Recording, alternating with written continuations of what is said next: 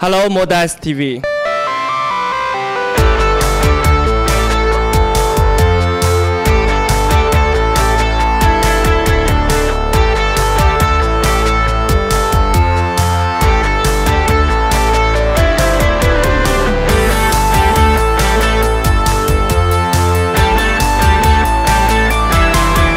For this collection, I used a lot of image from the Chinese culture.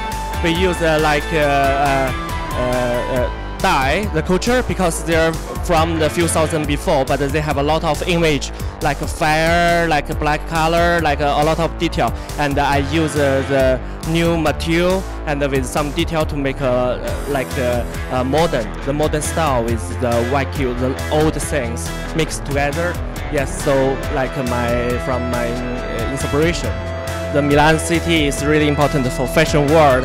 In the in the uh, in the world, we have a Milan, Parigi, New York. But I choose Milan because I really love Italian style and uh, and uh, my also my uh, image a lot of things from the really classics. So that's why this time I choose this location. They have uh, 500 years about the history, and uh, I want to, to mix mix some really classic style and with really modern street uh, rock some something and um, I mix together so we will have some new style new things new look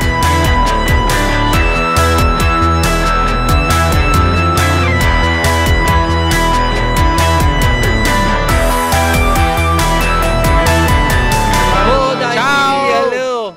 Ciao. See you next time.